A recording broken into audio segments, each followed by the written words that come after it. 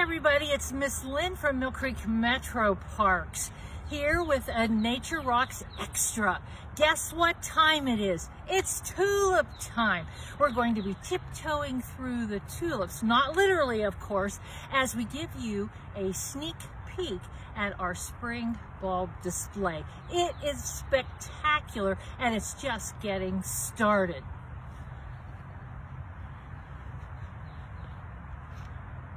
Take a peek around. Everywhere you look, you're seeing tulips. Different colors, different patterns, different varieties. Each year we plant a new bulb display for our enjoyment in the spring.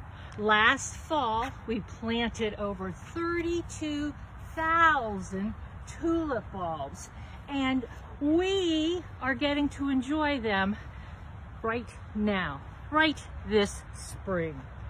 Now you might ask, why do we plant new bulbs every fall? Well, think about it. As a visitor, it's really no fun to return to a, a place that you love and see the same displays over and over again. So once the tulips are done blooming, we will pull them out. We will then prepare the beds and plant our annuals for our summer display. Now, tulips, some last a long time, some don't. Deer love tulips. So planting tulip bulbs each fall gives us a way to have a beautiful new display for all of our visitors each time they visit. So come down to Fellows Riverside Gardens. Maybe in the next couple of weeks, garden supervisor Sarah says they're bloom opening fast, they're blooming fast.